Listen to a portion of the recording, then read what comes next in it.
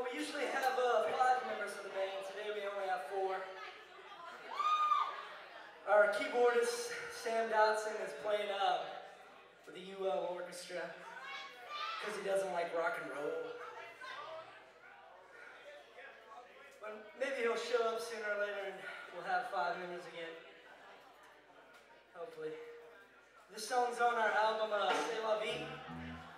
It's on uh, Bandcamp for download. You guys want to check it out. This song's called I Know That I Don't Know.